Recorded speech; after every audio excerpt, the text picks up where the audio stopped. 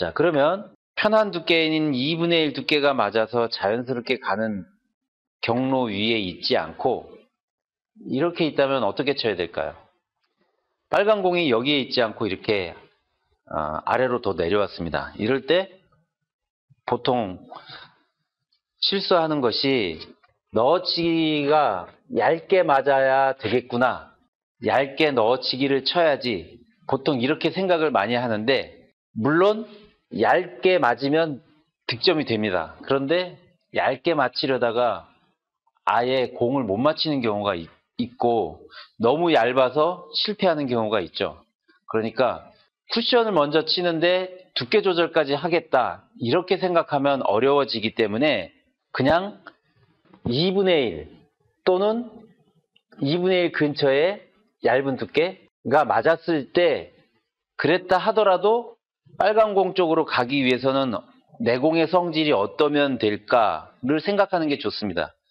여기에 도착했는데 2분의 1 두께가 맞아서 여기에 도착했는데 속도가 느려서 회전이 무회전화 되면 이렇게 가지 않고 이렇게 갈 수가 있거든요. 그것을 이용하면 되는 겁니다.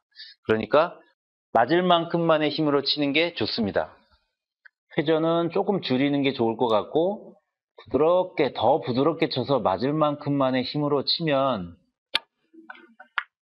회전이 빠지면서 그리고 분리각도 줄어들죠.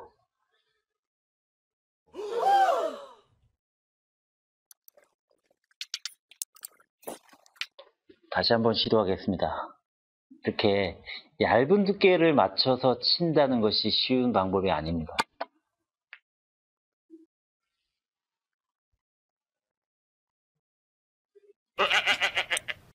두 번 시도했는데 두 번 모두 실패했습니다. 그럼 이, 이 방법이 안 좋은 거 아니냐라고 생각할 수 있겠죠. 그렇게 생각할 것이 아니라 확률이 떨어지는 방법을 시도했구나라고 생각해야 되는 겁니다. 다시 시도하겠습니다. 맞을 만큼만의 힘으로 자, 이번엔 성공할까요? 네, 이렇게 여기에 뱅크샷은 확률이 높을 때만 선택하세요라고 써 있잖아요. 이것에 위반되었기 때문에 몇 번의 시도 만에 겨우 성공하는 겁니다. 그러니까 뱅크샷은 확률이 높을 때 쳐야 된다는 겁니다. 이것을 어, 잘못 치지 않았냐, 너 왜 못 치냐 이렇게 생각할 것이 아니라 아 이래서 확률이 높은 배치에서만 뱅크샷을 쳐야 되는구나 라고 생각하는 사람이 실전에 강한 사람이 되는 겁니다.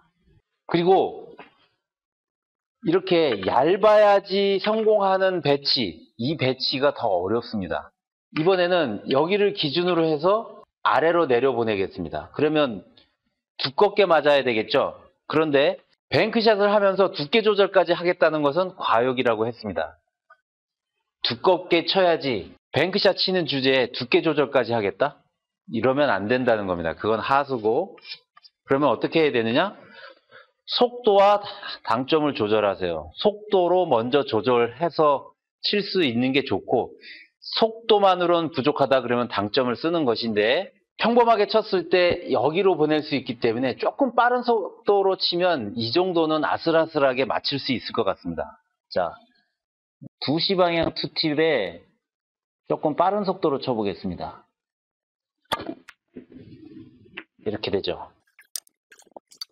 이것을 두껍게 쳐야지 라고 해서 두껍게 겨냥하다가 너무 두꺼워서 실패하는 적이 많고 또 심지어는 걸어치기가 돼서 실패하는 적이 많을 겁니다. 그러니까 이 정도는 그냥 속도를 약간 빠른 속도로 치면 득점하는데 무리가 없습니다. 자 그런데 이렇게 많이 내려왔습니다. 아까보다도 훨씬 더 내려왔습니다. 이럴 때는 아무리 빠른 속도로 쳐도 저쪽으로 보내기 어려울 겁니다. 아주 두껍게 맞아서 스핀볼이 되거나 하지 않으면 득점이 어렵습니다. 이럴 때는 두껍게 쳐야지라고 생각하는 것은 그거는 확률이 떨어지는 쪽으로 시도를 하는 것이고 당점을 내리는 게 좋습니다. 빠른 속도로 치면서도 당점을 내리는 게 좋은데 단 그렇게 쳤을 때 이 노란 공이 어디로 가냐를 보면 마침 빨간 공 쪽으로 가게 되어 있기 때문에 키스의 위험이 있습니다. 그래서 이렇게 득점하기 위한 조건이 많아지는 배치들은 쉽지 않을 것이기 때문에 더군다나 bank shot으로 그런 배치를 득점하려고 시도하는 것은 좋은 방법은 아니지만 지금은 넣어치기를 어떻게 활용을 하는 게 좋은지를 알려드리는 거기 때문에 키스의 위험이 있음에도 불구하고 넣어치기를 치는 겁니다. 자, 빠른 속도의 당점까지 내려보겠습니다. 네, 한 5시 방향 투팁 정도로 당점을 내려서 빠른 속도로 쳐보겠습니다. 조금 모자라네요. 키스 위험이 있었죠? 5시 방향 2팁이 아니고 5시 방향 3팁으로 쳐보겠습니다.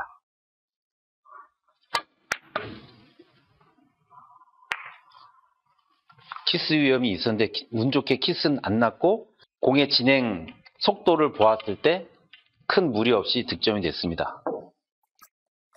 지금 여기에 있었을 때 득점이 됐는데 이렇게 더 내려와 있으면 어떨까요? 이것도 넣어치기가 가능할까요? 조금 전에 5시 방향 3팁으로 쳤을 때 여기에 보낼 수 있었는데 6시 방향 3팁이라면 이것도 가능할 것 같습니다. 6시 방향 3팁의 당점으로 빠른 속도로 쳐보겠습니다. 너무 얇게 맞았는데 다시 한번 시도하겠습니다. 세 번 실패했습니다. 이렇게 어, 두께도 조금 두껍게 맞아야 될 것이고 속도도 빨라야 될 것이고 당점도 매우 아래여야 될 것이고 이렇게 조건이 많이 붙는 배치는 성공 확률이 적습니다.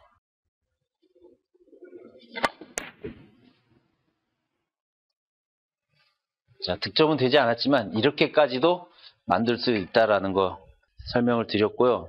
이런 배치에서 누가 이렇게 넣어치기 무리한 시도를 하겠습니까?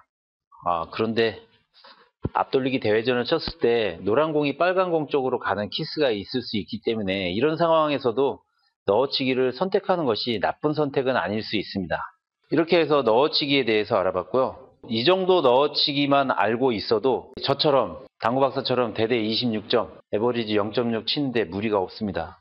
지금 알려드린 방법에 숫자가 없었잖아요. 굳이 이런 이런 넣어치기 치는데 숫자까지 외워가면서 친다고 하- 한들 정확도가 높냐 하면 그렇지도 않습니다.